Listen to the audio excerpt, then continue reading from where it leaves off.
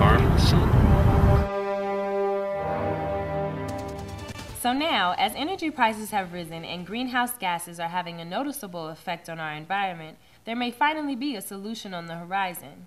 Solar energy, but not your typical solar energy, a more affordable and efficient use of this natural resource to increase any nation's security and economic stability by securing an energy source that's independent from their neighbors. BrightSource, along with other companies and government departments like the Department of Energy, have been helping to pioneer what some would call the most efficient way of harvesting the sun's energy.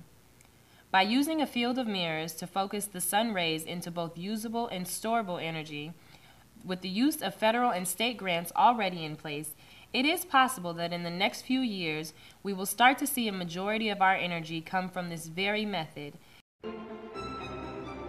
The sun provides enough electrical energy in one hour that hits the surface of the earth than all of humanity uses in an entire year. So a lot of our current other energy sources use the sun indirectly. Wind, hydro, even oil is long ago stored solar energy. It's like a sunny day in Southern California.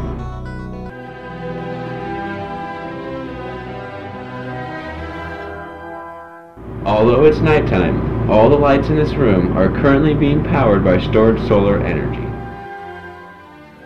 Yeah, it's Bob Del Sol, B-O-B, D-E-L, S-O-L.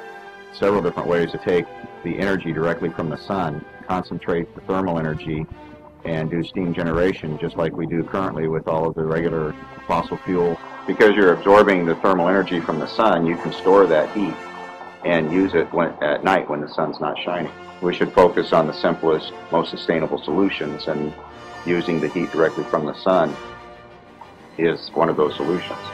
This solar array in the Israeli desert is testing technology for solar plants under construction in California. The money that's going to be thrown at these problems is enormous. It's all about higher efficiency driving lower costs, and that can help make solar thermal compete directly with fossil fuels. We need to look for a sustainable solution. There is no energy source on the planet that's going to be able to accommodate the energy needs of the future.